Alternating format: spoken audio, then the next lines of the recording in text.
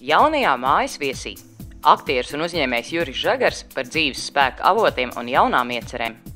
Ko ķīnieši dara Latvijā? Iepazīstinām ar Eirovīzijas nacionālā pusfināla dalībniekiem. Kā Vastlāvis svinēja senajā Rīgā. Ivers Bušmans dodas Kenijas neskartajā dabā. Saimnes deputāta Ināra Mūrniec ļaujas krāsu un lietu saspēlē. Tas viss un vēl daudz kas cits interesants jaunajā mājas viesī. Žurnāls mājas viesis tā ir aizraujoša lasām viela visai ģimenei.